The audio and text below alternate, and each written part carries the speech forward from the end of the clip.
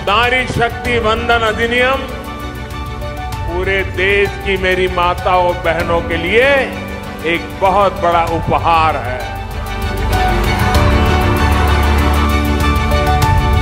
नारी शक्ति वंदन अधिनियम मेरी बहनों के अधिकारों की गारंटी है।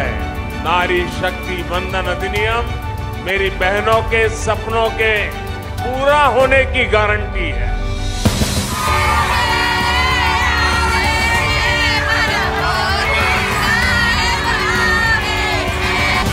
महिलाएँ बड़ी संख्या में नेतृत्व के लिए आगे आएगी।